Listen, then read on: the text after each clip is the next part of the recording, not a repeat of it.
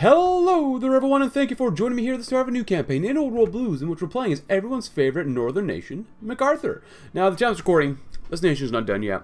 Uh, I'm not exactly sure what's not finished with it, but I know that the desert said this nation is not quite there yet, but you know what, I'm a sucker for playing the Enclave and, and if it's in base game now, might as well try it out. So, we're building America today.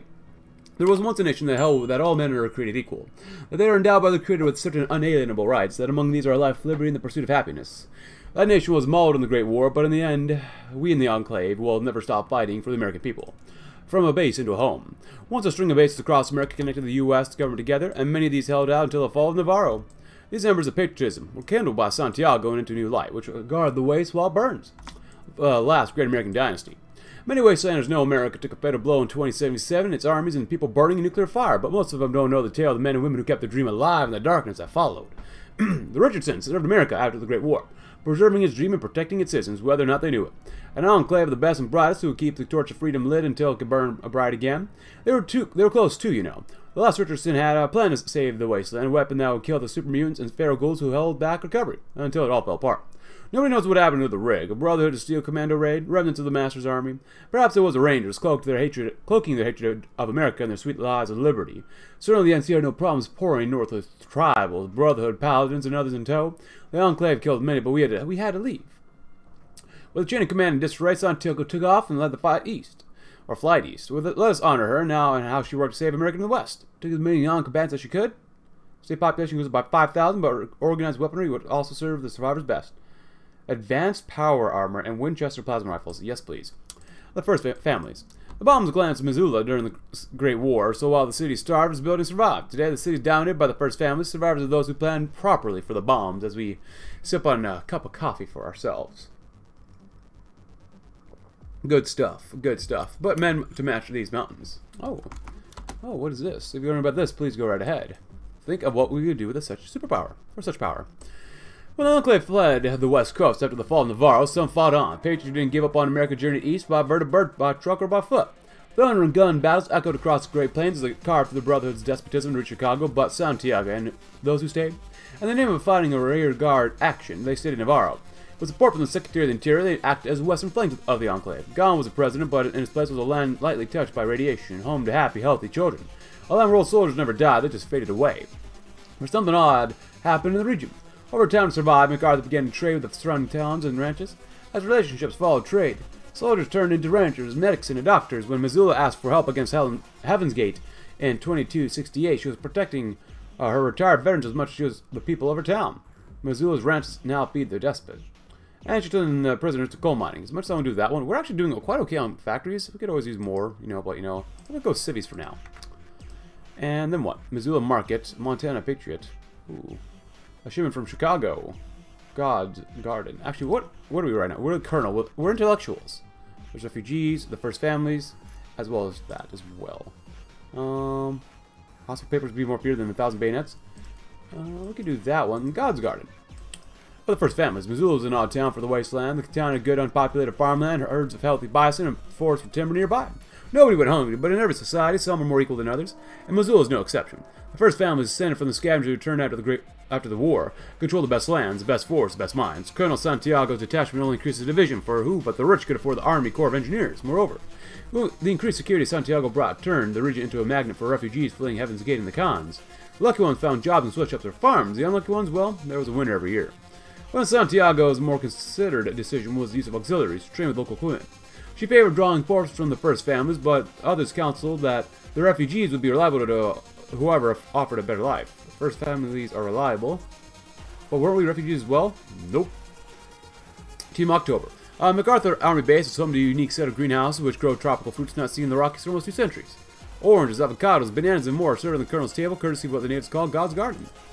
And then the colonel isn't the only Santiago and MacArthur. Her daughter, Ellen, rose through the ranks of the Enclave. Ellen could have requested a soft posting in Raven Rock in Chicago, but she chose to serve with her mother at MacArthur. There she works with the colonel to protect the people of Montana, a true inspiration for all Americans. There are those who say that she's gone native. Those who whisper indeed that she may be a mutant, but if that were true, how could she handle the Enclave's weaponry so effectively? Uh, Ellen's unit, the Team October, guards the wasteland and handles threats that need a special touch. Diplomacy with the first families, a raid on a Meadowmouth uh, outpost, trade mission to the bazaar, well, why not? The Rangers always led the way and always will. I'm glad she's on our side. Martha Santiago.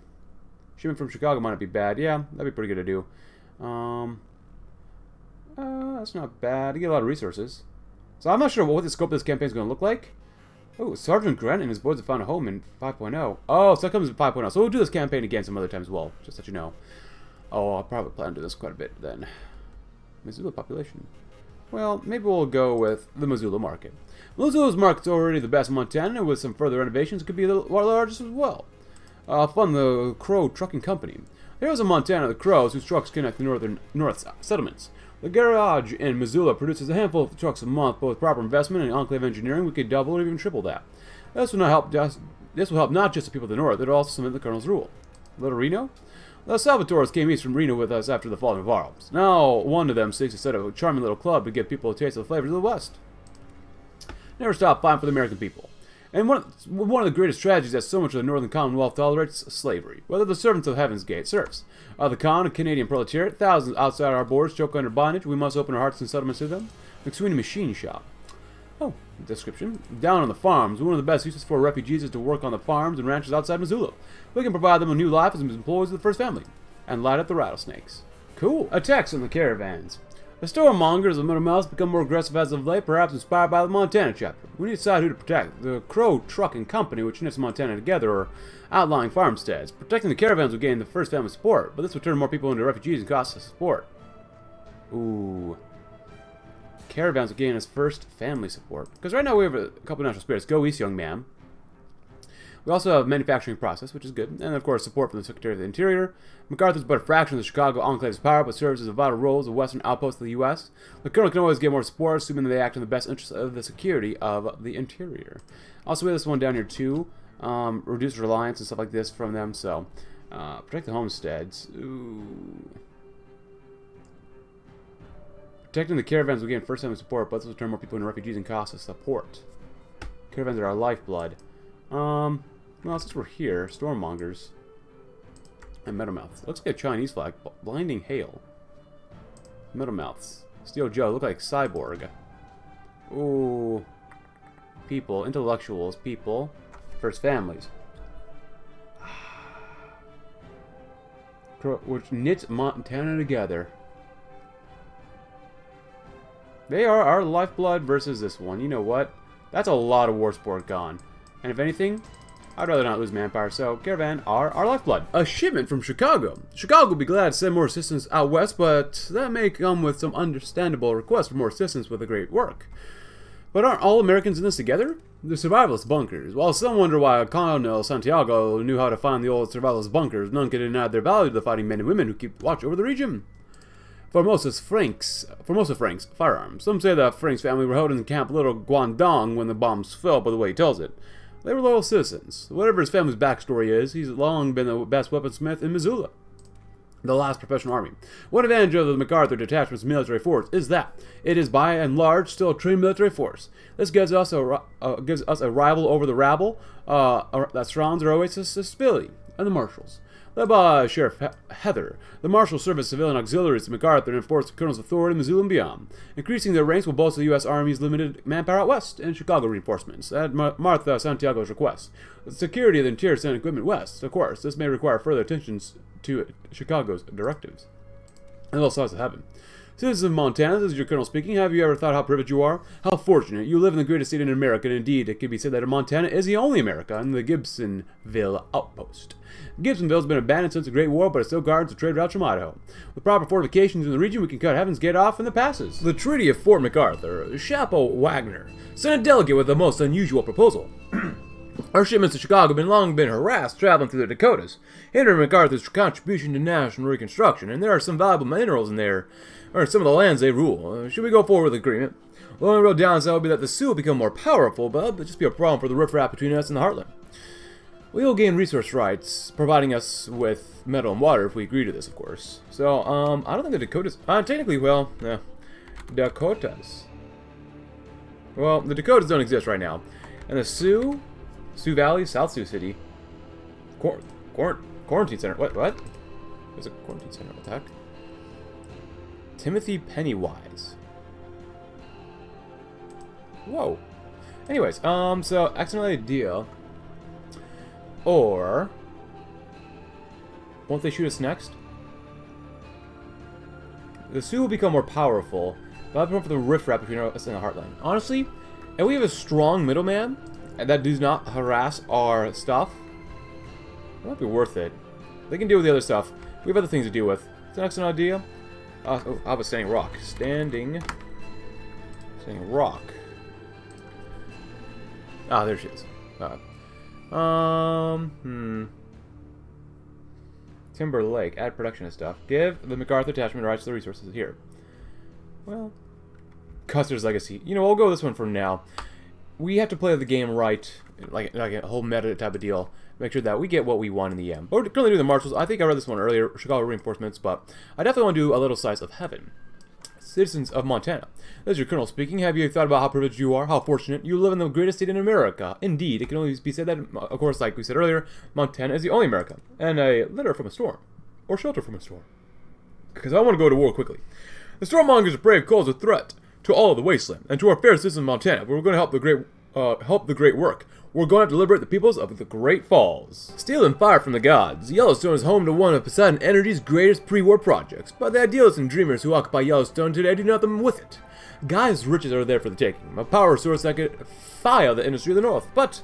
Oh, also, I guess if we didn't do the Gibsonville outpost, whatever, I forgot how to do this. Whatever, I want to go to war. I want to go to war. I want to have a little bit of a conflict, a little bit of lovely conflict at the time of this recording, so yeah. And we also have a couple planes, too. We have plenty of time to build ourselves up. I got quite a bit of power armor. And I actually increased our guys to 20 combat width.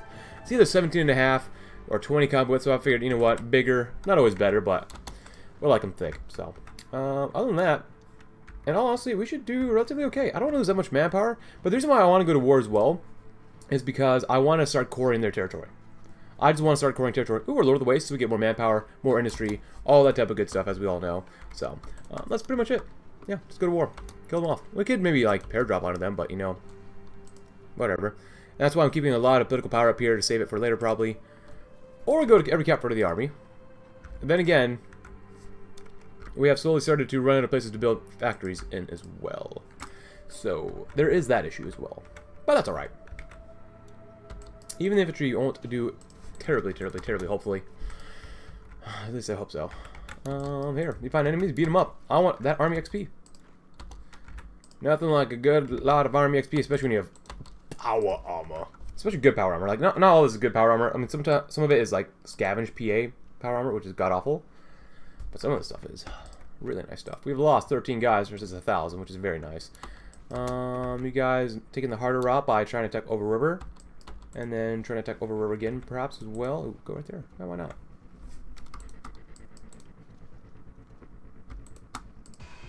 Why not? Keep going. Doing a great job. We're about to win anyways, but do this anyways because you can.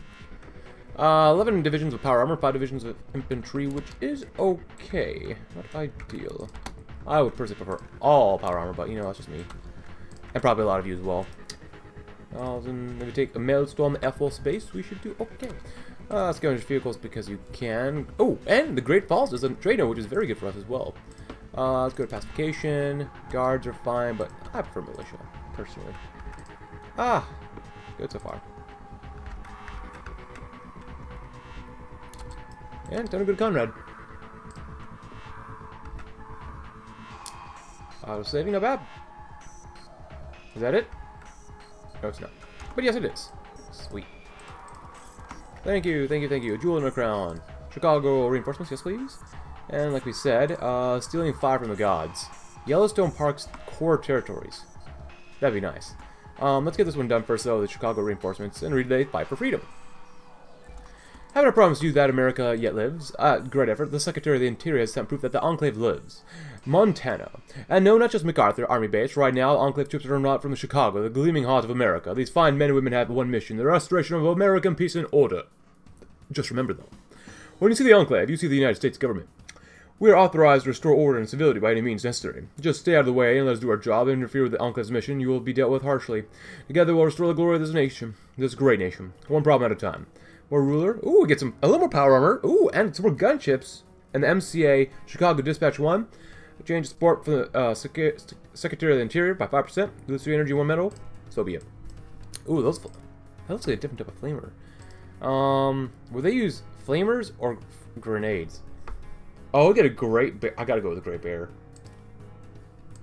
Auto grenade. That just that sounds like so much fun. I can't pass that up. Oh, look at this. 31st Peoria and Raven. Eh, not as good as what we have already. There you go.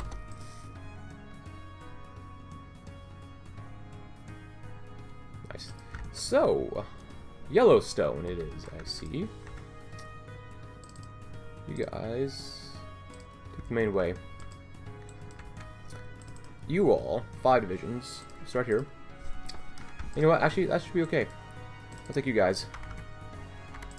Small, small groups. Small groups doing that, that stuff. And it looks like there is a waterway right there too. And they should be fine. Beautiful. And train. Perfect. Alright. Get rid of the core stuff. Uh, disabled. That's nice. Thank God we'll actually have some money coming in maybe. And economic resurgence. Hey, two more guys. Nice. Um, resistance is getting higher, which is not good, but compliance is almost as high as our resistance, which is, no, not bad. Um, post that. Heavy weapons assistance, not bad. Grenade machine guns, defend against a Brotherhood.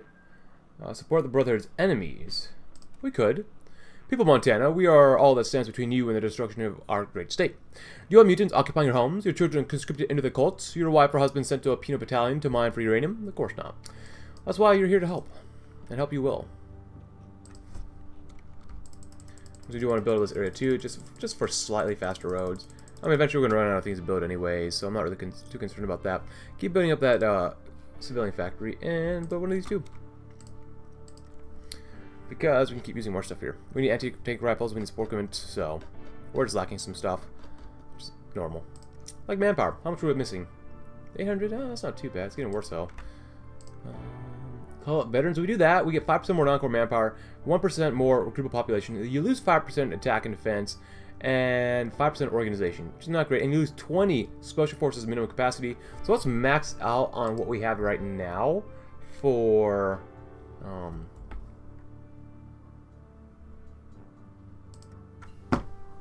Oh, I just lost it in my mind. What the heck?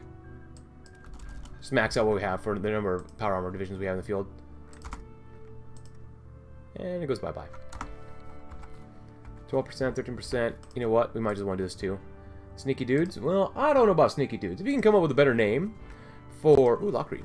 Um, our intelligence agency, please let me know. CIA could work, but Lockreed, Lockreed. Fighters, carrier fighters, eh, that's not bad. We don't have to spend the political power now, so we don't, we're not going to. Which is okay with us. We still have some unassimilated refugees, which actually I'm not particularly necessarily opposed to, because it can technically help us get us more population in each state, but not that much more. Core population 57,000, but, you know, whatever. How much would they, this stick to core? 62 is not bad. Stealing fire from the gods, of course. Um, support the Brotherhood's enemies. Yeah.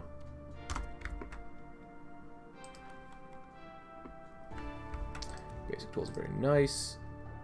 Um, output, sure, why not? Biggest issue is just manpower.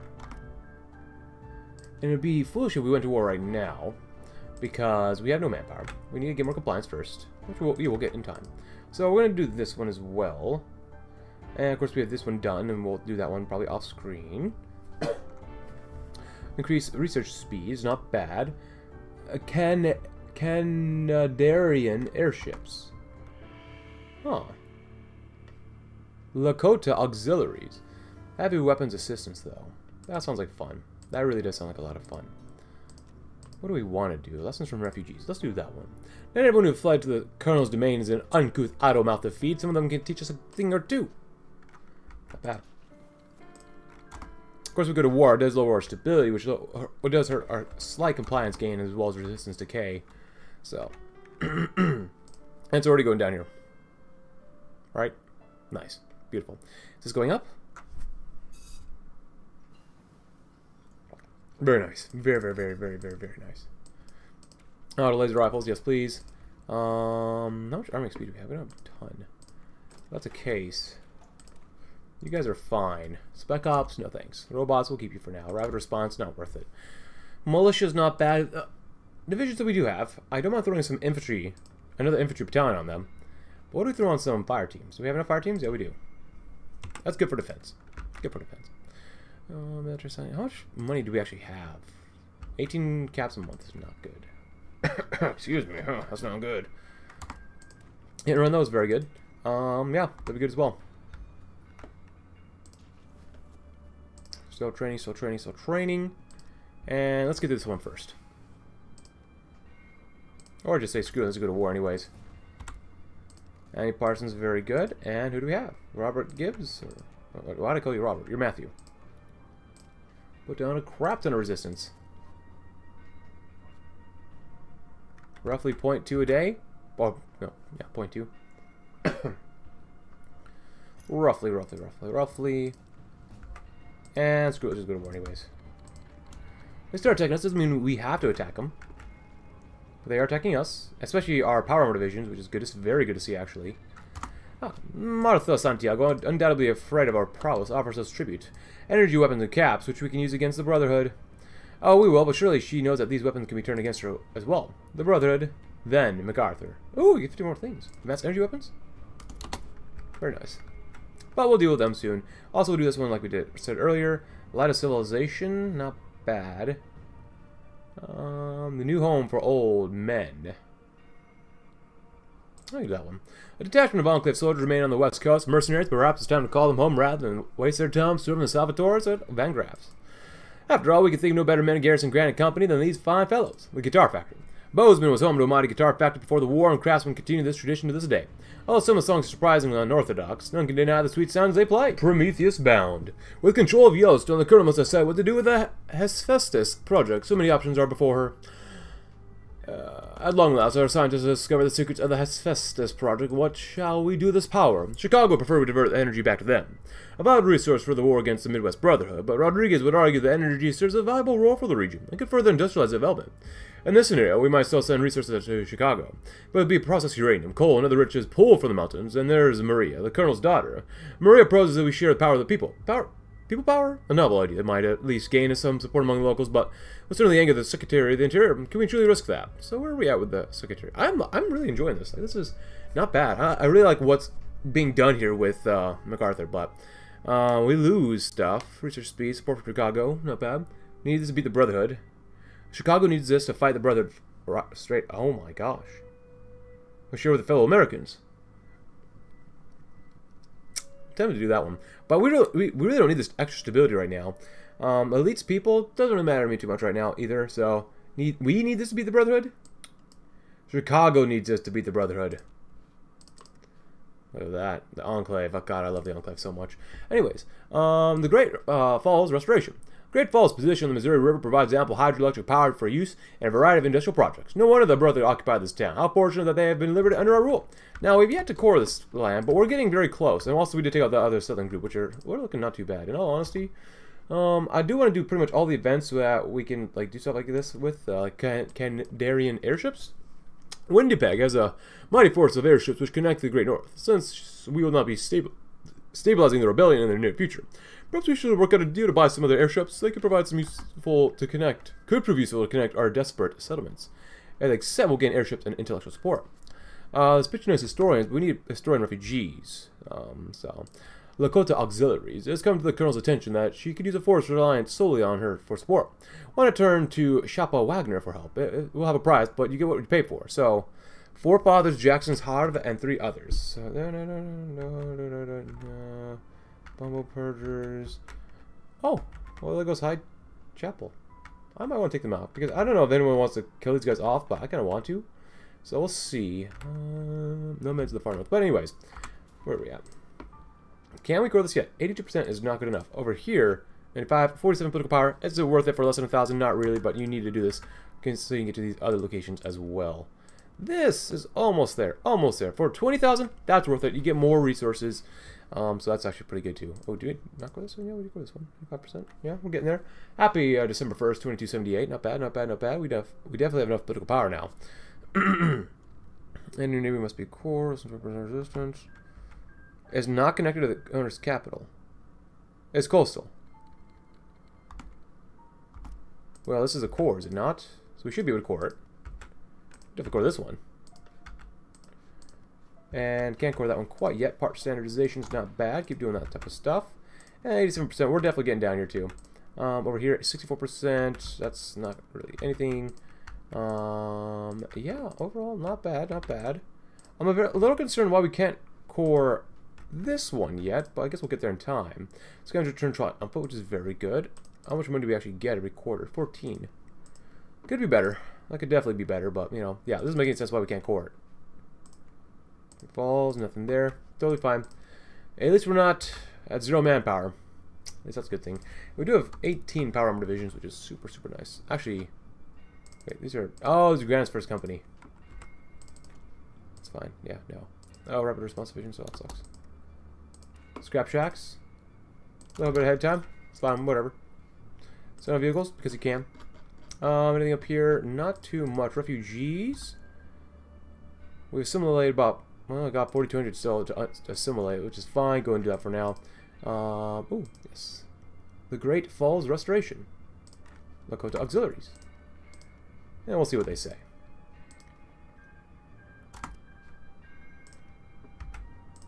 I'm quite concerned that we can't core this stuff. At 100%. At over 95%. As a core of the MacArthur Department. Well, it is a core, is it? No, it's colony state. Oh, why is this a colony state? Well, we paid core it, so...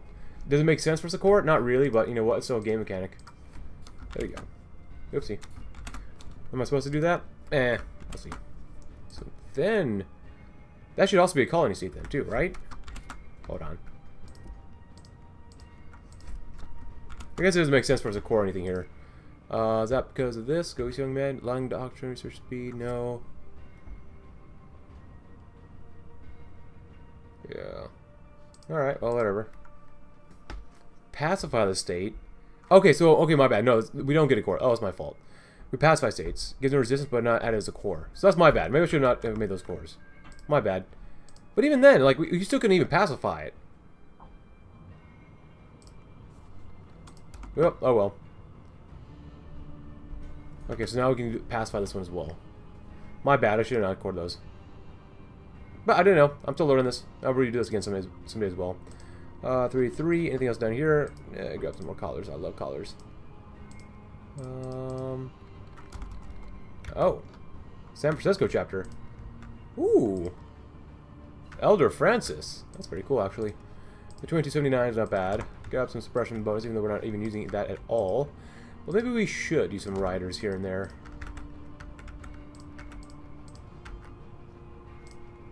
Got one more military factory, not bad. Uh...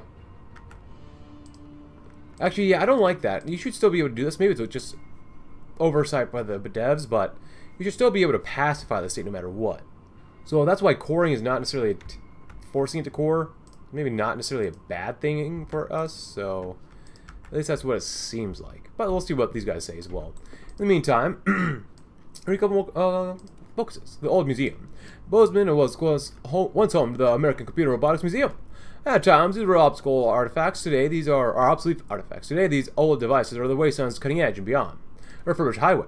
Montana's great highways fallen into disarray, but Martha Santiago will spare no expense to improve the lives of her citizens.